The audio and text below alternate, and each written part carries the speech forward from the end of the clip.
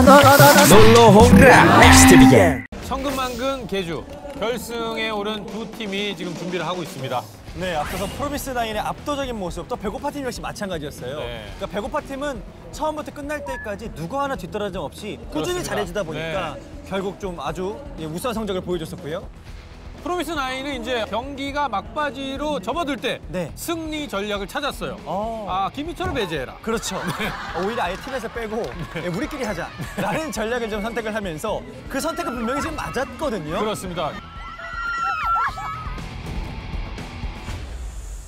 먼저 우리 희철 씨와 신동 씨가 손바닥 밀기 게임을 통해서 또 이긴 분이 레인을 인코스냐 아웃코스냐로 또 정할 수 있습니다. 그럼 저를 너무 무시하는 거 아니에요? 아 그래요? 이게 사실 힘도 중요하지만 순발력이거든요. 저 완전 잘해요. 자 힘의 신동이냐 순발력의 김희철이냐 이게 팀원들의 응원 들, 들어보고 싶어요? 아 자, 배고파 팀 응원해 주세요.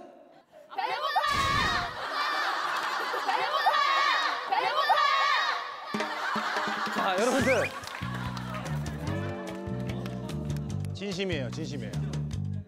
자 그러면은 사제파 EDM, EDM 시작.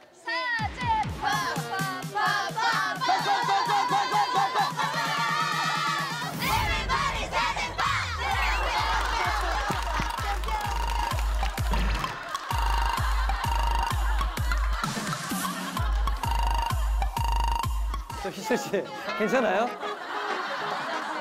저 방송 이렇게 즐겁게 하는 거 처음 15년 만에 처음 봐서 좀 적응이 안 되거든요.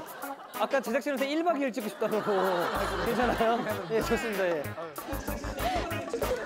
자 그러면은 준비 시.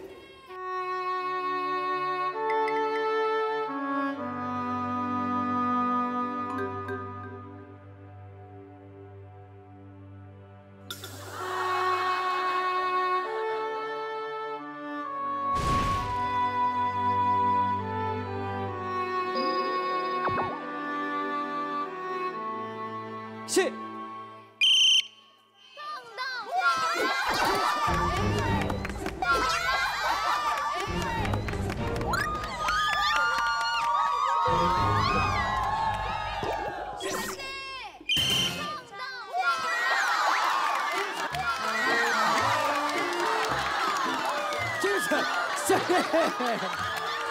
아 힘쓰는 거에서 지금 다 실패하고 있어요. 네, 그냥 힘만 쓰려고 하다가요.